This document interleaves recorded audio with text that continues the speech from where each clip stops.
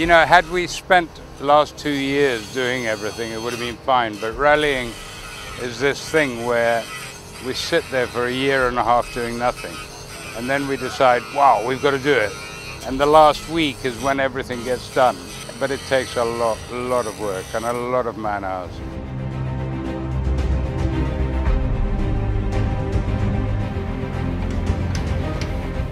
I mean, this is a third classic going, so now we're getting used to it. We know what it's like, what we're gonna, what we expect. Um, but uh, yeah, whatever you expect doesn't happen, but you have to just come around it. Cars were very slow going through that, understandably. So these guys didn't realize what kind of speeds we were coming at. So it was very dangerous with all that traffic coming oncoming. We had uh, matatus, manyangas, who had no place to go on the side, so it delayed us quite a bit. It, it was just terrible. Didn't enjoy that at all.